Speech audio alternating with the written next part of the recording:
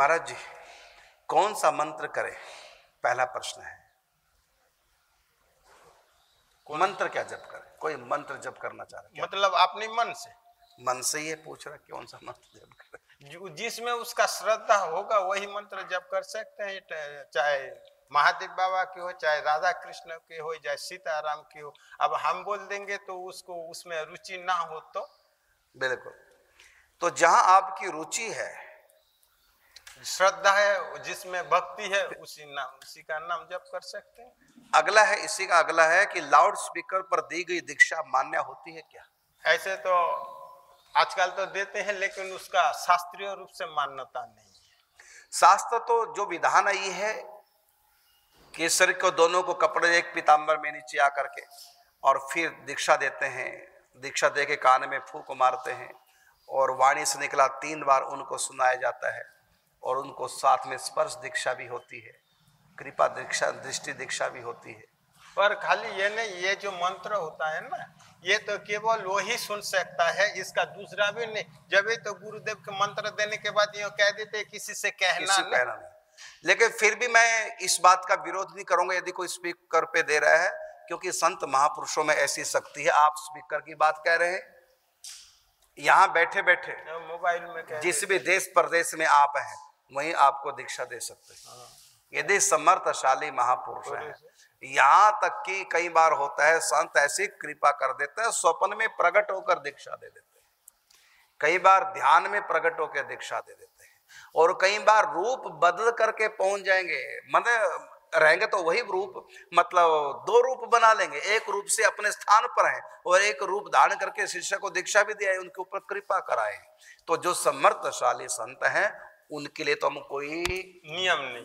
नहीं कहेंगे। सामर्थ्यवान हाँ, ना दोषा है हाँ, लेकिन जन साधारण के लिए तो यही नियम है कि स्पर्श करके और कृपा पूर्वक दीक्षा दे और कान में फूक मारे तीन बार मंत्रों का उच्चारण उनसे भी कराए साथ साथ तो कुछ विधान है मंत्र दीक्षा के। बाकी जो जैसा करे हो सकता उनके पास ऐसी आज्ञा हो भगवान की समर्थ है कर सकते हैं। बाकी हम ये नहीं कह सकते गलत है ये भी नहीं कह सकते ठीक है। कहते हैं कि मैं तीन चार सालों से राम नाम लिख रहा हूँ। इन पुस्तकों का क्या करूँ? क्या अपने परिजनों से कह दूँ कि मेरे मरने पर मेरी छाती पे रख दूँ जो मैंने राम नाम लिखा ये कह दे तो ठीक है, कोई बात नहीं है, लेकिन ये तो प्रभु की इसमें समर्पण कर दो तो और उत्तम होगा। ग्रंथों को हाँ ग्रंथों जो लिखे कहा जो लिखे कैसे समर्पण जैसे प्रभु के जो ये भी तो एक साधना ही है ना। नहीं साधना प्रभु को समर्पित तो कर रहे हैं प्रभु के लिए लिख रहे हैं लेकिन वो जो किताबें हैं कॉपियाँ हैं हाँ। जो लिखी हमने उनका ग्रंथों का क्या करें? ग्रंथों को यूँ कह रहे हैं ना जो वो हम छाती पे रख ले छाती पे रखने से तो वो जल ही जाएगा। जल जाएँगे ना। तो फिर उनका क्या करें? उनका वो ठाकुर जी के मंदिर में बिल्कुल।